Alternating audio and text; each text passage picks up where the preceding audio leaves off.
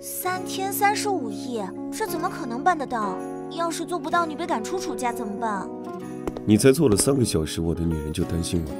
那人家已经是你的女人了，肯定会担心啊。你不是喜欢楚天佑吗？楚天佑哪有大少爷男人啊？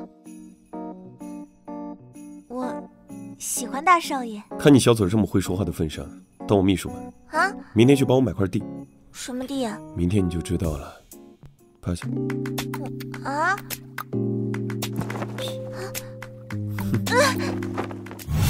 站住！听说你花了三个亿买了麦龙滩 A 区啊？是。你不会是想用那块破地方来证明自己吧？不行吗？你真是没救了！麦龙滩 A 区就是个破水沟子，金陵那么多投资商不投，你却要去投，真是蠢死！二少爷，韵儿，你对大少爷的了解，仅仅是冰山一角，还是不要妄下结论吧。